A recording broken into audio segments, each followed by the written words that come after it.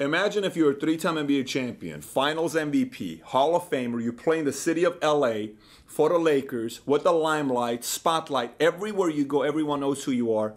How does someone like that deal with distractions?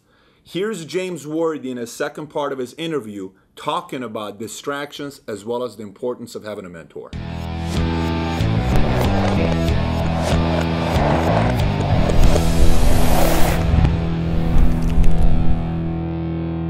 Distractions are going to come, for sure.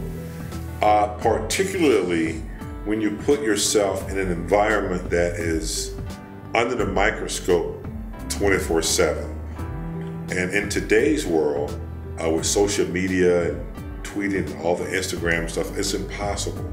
Because everywhere you go, whatever you do, if you go to a nightclub, it's going to be something that's publicized. So while you're growing as a human being, and you have all the challenges that every man and woman has in life, whether it's marriage, whether it's business, whether it's just growing as an individual, whether you have fears and anxiety that have been with you since you were eight years old and you bring them into your adult life, all those things aren't going to go away, regardless if whether you're a janitor or whether you're a school teacher or whether you're a professional athlete. They just manifest. And so you deal with it just like you know a politician would. Uh, there are obstacles and troubles that come your way. Uh, I know personally I've had uh, things that I've had to overcome, but you have to realize that you are a good person and that you can't be repetitive in your mistakes and you have to be honest with yourself. That's one of the biggest things at this level is looking at the mirror and realizing that you're just a human being. And despite all the distractions, you don't get a pass because you're in a certain environment. You have to identify your distractions and, and try to eliminate them because they're going to come.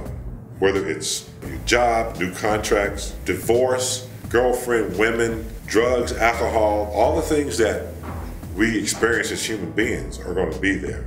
They're heightened when you get money and when you're in an environment of unrealistic fantasies.